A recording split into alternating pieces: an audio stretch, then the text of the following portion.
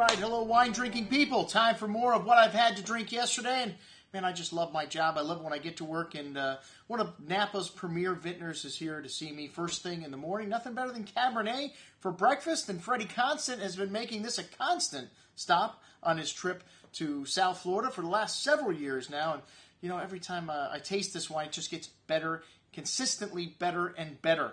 This is a wine that uh, is from a small vineyard the highest, oldest vineyard in Napa Valley. Let me make sure I get that right. Because there are older vineyards in Napa Valley, and there are higher vineyards.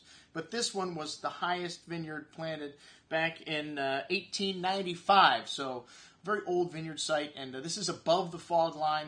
It's a very unique microclimate, and vintages like 2011, where they had a lot of problems with rain on the valley floor, didn't lose one grape up at Freddy Constant's vineyard. So, consistently excellent wines here. And uh, Paul Hobbs, one of the reasons, one of the top winemakers in California, is the consultant there now. And, you know, they're right on the dividing line up on top of uh, Diamond Mountain between Napa and Sonoma. So on the label it says 50% Napa, 50% Sonoma, but I don't think anyone's got the measuring tape out there and saying, you know, how much of the wine came from here or there. And, you know, Freddy is a really cool cat.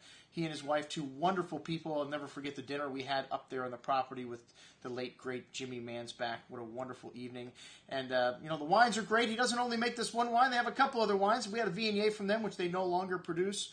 Uh, they make some other things that are sold exclusively on their mailing list. I think he sells 85% of his wine direct, which is what most small wineries should do, especially the guys that only produce 1,500 cases of wine, and they produce it at this quality level with, like I said, with a guy like Paul Hobbs' name, uh, name involved, you should be able to sell all this at the winery. And We're lucky that Freddy still takes care of his good friends. I keep telling him, Freddy, come on back the next time. We'll open up seven or eight vintages of Constant that I have in my stash.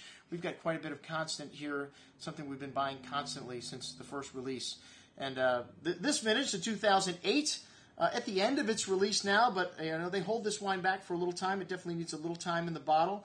Uh, the great Philippe Melka used to make wine up here, but rumor has it he didn't like to drive all the way up there to see uh, Freddy. I guess Paul considers it, uh, you know, uh, part of his, uh, you know, kind of mental break, taking the drive up there and relaxing on the way up and relaxing on the way down, because you can't justify the time you spend going up to a vineyard like this. But it is a unique site, and I'm guessing because Freddy sells, you know, some of his fruit, that he sells some of it to Paul. I know he said he sells some of it to Philippe, but uh, that's one of the reasons Paul's driving all the way up there because he wants some of this good juice that uh, Freddy's got up there. This wine has got a little bit of Cabernet Franc and a little bit of Merlot in it. 2008 well, kind of a vintage you kind of have to pick and choose. I don't think it's going to go down in the annals of history as one of the greatest vintages from Napa Valley, but certainly a very good vintage. This is one of the best 2008s that I have had. A really rich wine on the nose, lovely dark earth, kind of dark chocolate, tobacco spice, currant, cassis berry fruits, really lovely concentration on the bouquet. That is something you get from farming the vineyard correctly.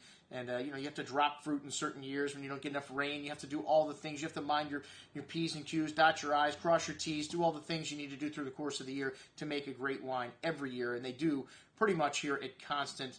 Uh, you know we have I think eight or nine vintages on the shelf, and it's not because I don't think the wine is fantastic. Because for $115, I challenge you to find a better wine in the $100 price range than Constant.